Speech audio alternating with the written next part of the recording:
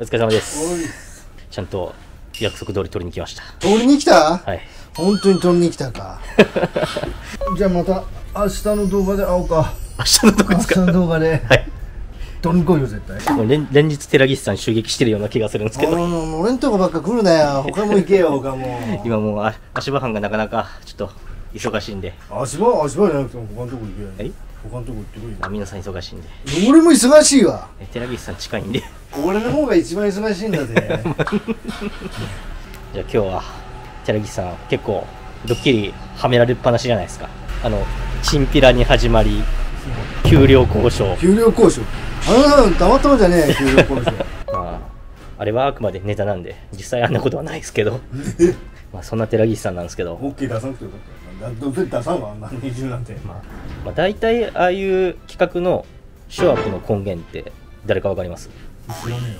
それはやっぱ大魔王小林ですよ。ボスか。はいボスです、ボスか。まあ最近落ち着いとるでいいけどまあ、でもちょっとそろそろあれじゃないですか。寺岸さんも仕返しじゃないですけど責任取ってもらってドッキリかけられないと社長に。そこでちょっと一つ案持ってきたんですよ。社長の車めちゃくちゃにしたくないですか？社長の車？はい。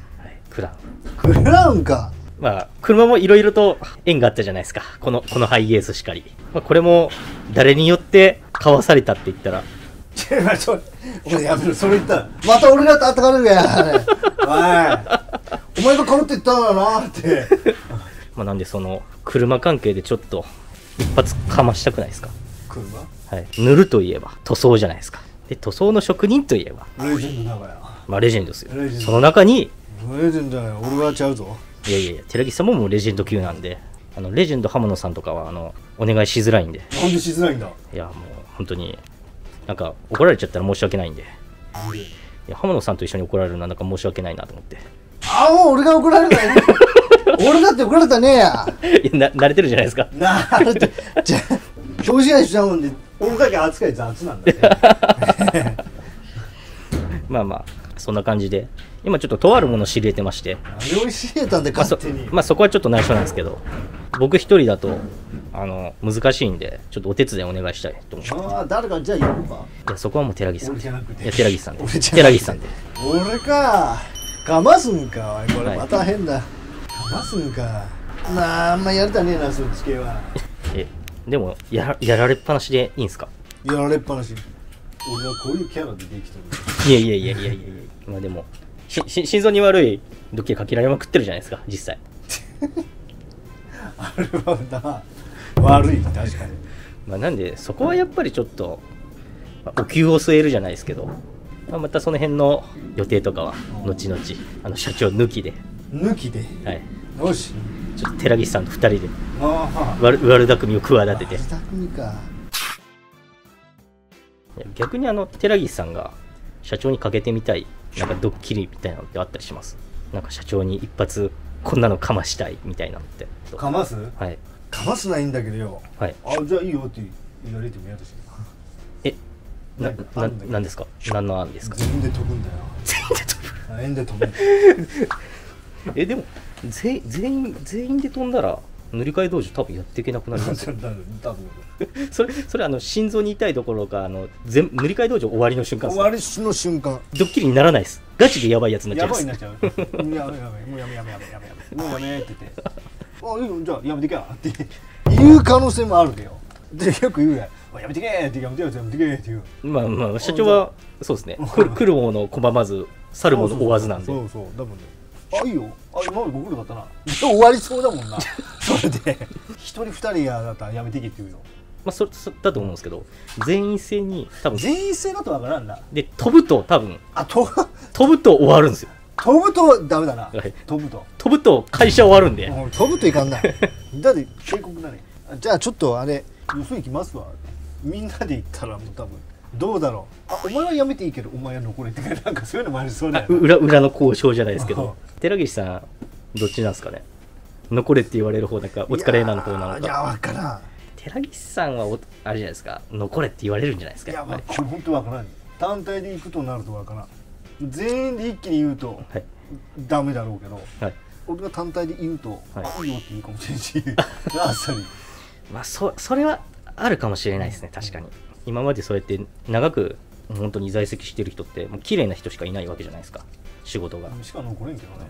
ねその人たちが一斉に多分辞めるってなったら。ぜ一斉だったら多分言っとめる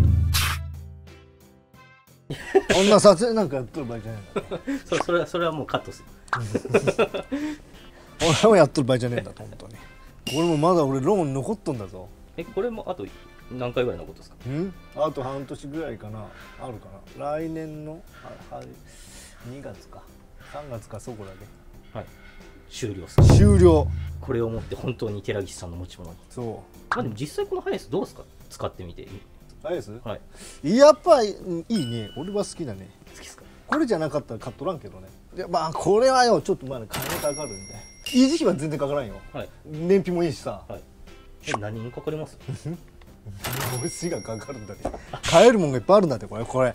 あ内装がってうんことか、ペンキもあるけど。ああ そうですね。結構でもこれどのくらい使ってるんですか？いやこれ買ったのね。はい。会社が買ったのね。わりかしね年式が新しいうちに買っとんだわ。ああそうなんですか。うん。